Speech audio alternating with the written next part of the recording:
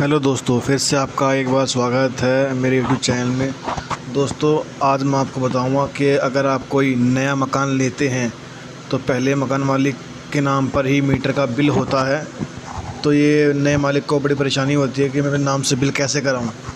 तो नया नाम कराने के लिए आपको अपना नया प्रॉपर्टी चेंज जो आपके नाम से बनी है, वो आधार कार्ड, सेल्फ़ अटेस्ट होने चाहिए। उनकी फ़ोटो करा के, सेल्फ़ अटेस्ट करके आपको अपलोड करने होंगे इस फॉर्म में, जो मैं आपको बताऊँगा अभी। वो ये फॉर्म फिल होने के बाद 10 से 12 दिन के बीच में आप, आपको अपने बी सी एस ऑफ़िस में जाना होगा इन डॉक्यूमेंट्स को लेके वेरिफिकेशन के लिए। जैसे आपकी वेरिफिकेशन जाएगी, एक या दो महीने के जो अगला बिल आएगा, उसमें आपका नाम चेंज होके आ जाएगा। आप इस फॉर्म से अपना नाम ही नहीं, अपना मोबाइल नंबर भी चेंज कर सकते हैं।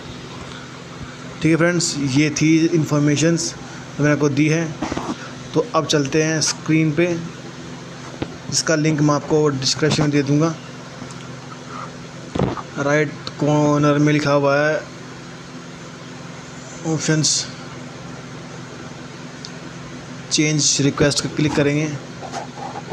यहाँ पे आपने बी ए सी ए का सी नंबर डालना है, जो पिछले मकान मालिक के बिल पे है, और आपको अपना नया मोबाइल नंबर डालना होगा।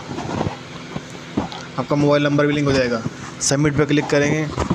जो मैंने मोबाइल नंबर डाला है, उस पर एक ओ टी पी जाएगा। वह ओ टी पी यहाँ पर आपको एंटर करना होगा।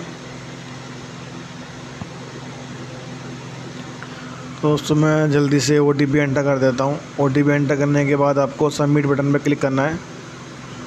सबमिट बटन पर क्लिक करने के बाद आपको ब्लू कलर में न्यू रिक्वेस्ट पर क्लिक करना है।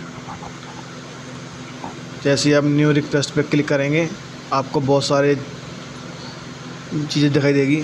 आप यहाँ से अपना name change load change address या कैटेगरी चेंज कर सकते हैं मीटर में। तो फ़िलहाल हमें नेम चेंज करना है तो हम नेम ऑप्शन में लेंगे और अप्लाई पे क्लिक करेंगे। जैसे ही आप क्लिक करेंगे, आपके नेम एंड एड्रेस पहले मकान मालिक का शो करेगा। यहाँ पे मैंने हिडन किया हुआ है। नीचे आ जाएँगे।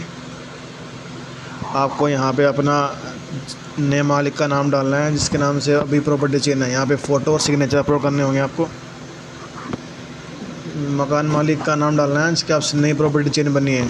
उसका फादर नेम डालना होगा यहाँ पे। और रीज़न फॉर चेंज क्या आपने परचेज करी है? परचेज और प्रॉपर्टी पे क्लिक करना है आपको। इस पर क्लिक करने के बाद आप डिक्लेरेशन को स्क्रॉल करेंगे नीचे। एक क्लिक करने के बाद ही आपको ये वेरिफिकेशन टिक दिखाई देगा। इस पर टिक करेंगे और नीचे आ जाएँगे। दोस्तों, यहाँ पे नए ओनर का आधार कार्ड आपको अपलोड करना है पीडीएफ फॉर्मेट में, वो भी सेल्फ टेस्ट उसकी फ़ोटो कॉपी करके सेल्फ टेस्ट करके अपलोड करना है। नंबर डाल के अपलोड करना है।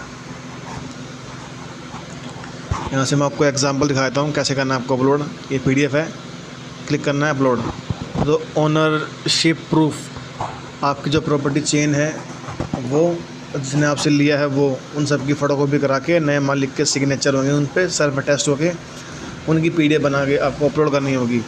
सेल डीड पर क्लिक करेंगे अपलोड फ़ाइल पर क्लिक करेंगे। यहाँ से आप अपलोड कर देंगे। अपलोड होने के बाद सबमिट पर क्लिक करना है। सबमिट पर क्लिक होने के बाद आपको एक स्लिप मिलेगी, वो स्लिप आपको रखना है। और 10 से 12 दिन के बीच में आप, आपको अपने बीसीएस ऑफ़िस में जाना है। ओरिजिनल डॉक्यूमेंट्स लेके वो डॉक्यूमेंट्स चेक कर लेंगे। चेक करने के बाद आपका दो से तीन महीने बाद जो अगला बिल आएगा उसमें आपका नाम चेंज होके आ जाएगा। यहाँ से आप रिक्वेस्ट का स्टेटस चेक कर सकते हो। आपका एप्लीकेशन स्टेटस क्या है?